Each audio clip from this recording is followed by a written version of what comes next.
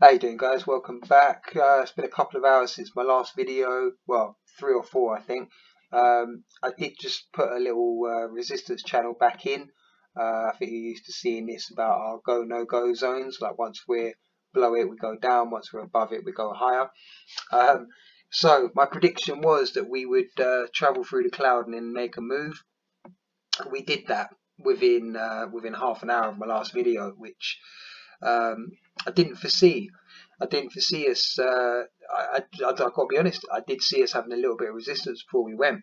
Um, but from my last video, we were kind of here. We we'd just been rejected by the cloud, but then we just blew through it, back tested, and off we went. And off we went up to um, 1373, which was uh, I think the exact um, resistance that I was talking about um, holding us. I mean, we did have you know yeah, anyway, it's just blown. It's just blown through, but it's stopped right on resistance at 1373. From there, we've had 90 minutes of uh, sell-off.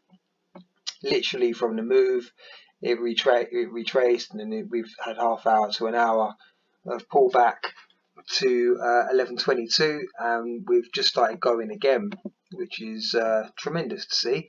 So this thing's awake. This thing is moving. Um, and what to look for now will be not being rejected at 1208. If we do, we're probably going to tail off back uh, back down.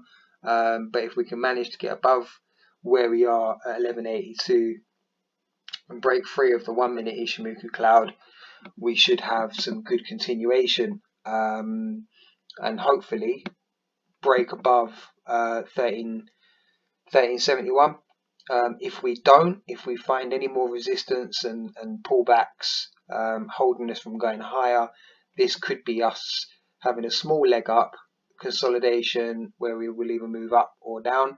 So, in all honesty, I'm just going to run a very separate fib for uh, for this following the move, um, which began here there. And R786 is back at 1095 so as long as we stay above 1095 this thing is still alive for continuation.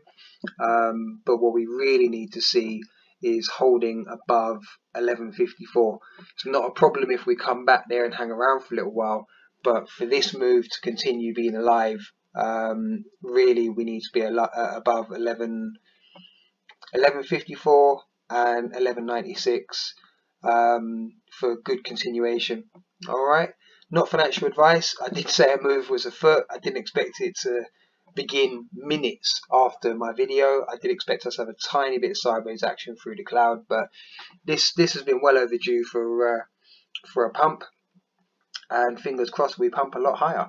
All right, see you on the next one.